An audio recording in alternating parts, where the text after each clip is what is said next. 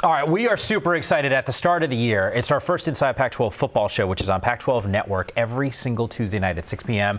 Pacific time. But we wanted to spend some time with some of our student athletes in the conference, and one who's got arguably the best story, I think, in the entire league. Davion Taylor from Colorado, who played a whopping one game in high school. Davion, appreciate you giving us a couple minutes here. Explain how a kid who played one high school game has landed in Colorado playing for the Buffs.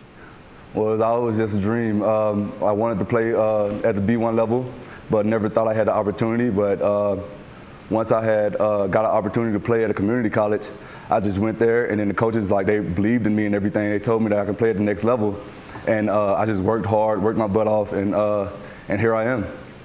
That's fascinating. I think what's even more fascinating about that is that in high school football, you practiced with the team but didn't play in games. I think when we see recruiting now Mike and I are always talking to recruits. The love for the game is what's always in question. Do they love football or do they love recruiting? What was it like for you to practice all week, not get recruited, and not play on Friday nights, but still want to compete in this game of football? Well, like it was hard to be honest because like I practiced all the time, and then like uh, I was like more like a scout team player, so I had like played quarterback, I played running back, I played mostly every position, just like to make this the, the, uh, the team better.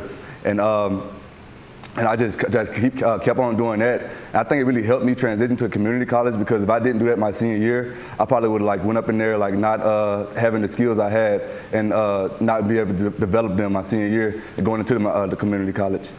Davion, your path is is unique and certainly not typical of most of your teammates.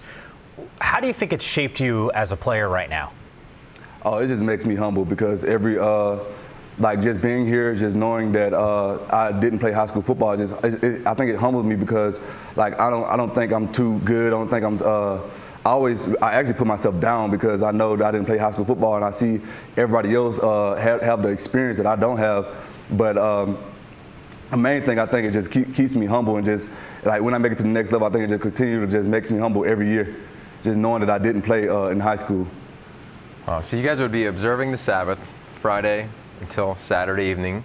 Curious for your mom, the first time she saw you play in a game and saw you do your thing, what was that conversation like afterwards? Uh, she, she was excited because she actually came to a Saturday game.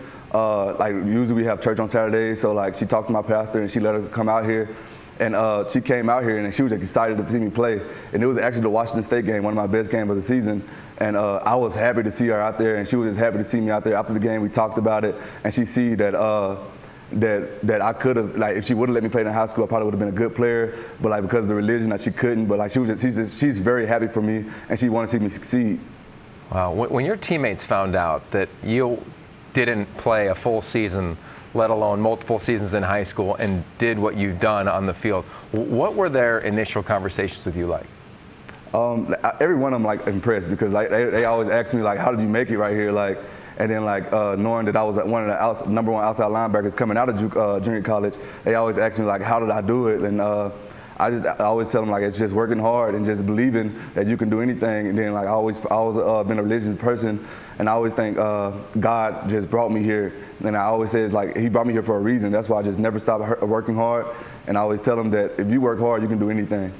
Davion, you are a long way from home. Mississippi, I know your mom, Stephanie, doesn't get opportunities too often to see you play mm-hmm. in person. Community in Boulder. It's Yogi and I have been on campus many times. It is one of the, the best places on the West Coast. How and now it's a new coaching staff. How has the group come together so even though you're far from home, it does still feel like a second home for you now? Yeah, oh yeah. And then the football team, they've, they've all become like brothers to me now. And uh, so even though I'm away from home, I feel at home in Boulder because all the football players were so close, and the coaches, they're like we're all so close. And during this fall camp, we've built like a brotherhood, and uh, and like I feel like I'm home now. So I really don't miss home like Mississippi as much, just because I've built uh, we built like a community a community here, and I'm just really excited for the season.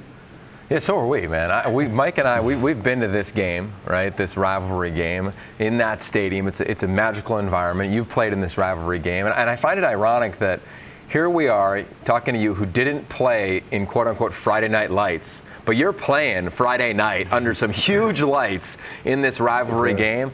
What's gonna it's going to be like for you to play for the final time against Colorado State on Friday? um, I'm going to be very excited. Like I know I worked hard this uh, this off season, and I'm just ready to see the results because uh, with these new coaches, I've worked harder than I probably ever have my entire life. So I'm just ready to see the results. I'm just ready to play, and I'm just ready to, I'm just ready to do good.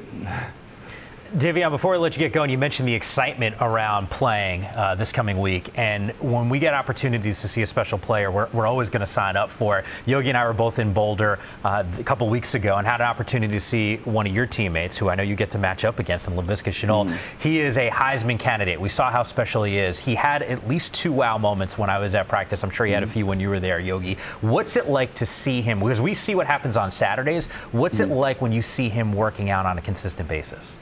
Oh, it's, it's great because like I, I, sometimes I have to match up against him on third down, and like he's a very big receiver. He's quick. He's like is is I think he's making me better as a player because he's like like one of the best receivers I've ever went, went against, and he he is one of the best receivers in the nation, I believe. And like it's just very exciting just going against, against him, and like he just makes us work harder. He makes the DBs work harder because he go he goes super like he he grinds so hard at practice that like I see why that he's like shining games. This conference is known for its offensive acumen. You've, you've got a new head coach who's a defensive expert. What has it been like learning from Mel Tucker, and what's the mindset of this team defensively heading into this fall? Uh, relentless. That's one word he always say, and that, uh, one word that we always bring to practice. Like we try to be the most conditioned, the most physical. Like he bringing that SEC uh, mentality in the Pac-12, and I think that's what, what this defense really need in order to be successful. So that being said, are you going to start rocking the cowboy collar like Nate Landman? uh, I don't think I'm there yet. I think you should. I why, like it. Why not, man? Just have a, a little bit hey, of maybe. you never know. Davion, we, we are looking forward to watching you on the football field, not only this upcoming week, but, but certainly throughout the course of the rest of the season. Appreciate you giving us some time. Uh, no problem.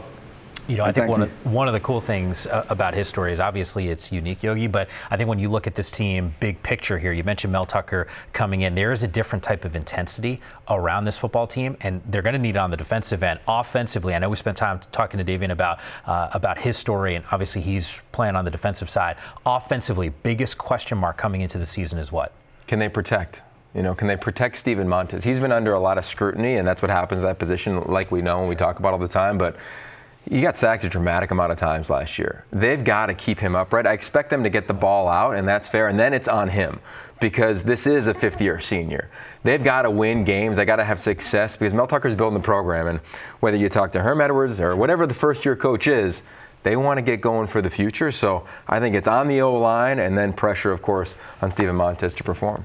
Ton of weapons offensively, and I get it. People talk about Montez and Laviska. You go across the board, though, especially at the wide receiver spot. K.D. Nixon probably doesn't get enough credit. Yeah. I'd also argue we're trying to figure out who's going to be that 1,000 yard rushing back, or running back as well. That's still one of those big picture questions for the upcoming season. But don't forget, it's a story that we're going to be tracking, a team that we're going to be tracking all season long, every single Tuesday night on Inside Pac-12 Football. You do not want to miss it, 6 p.m.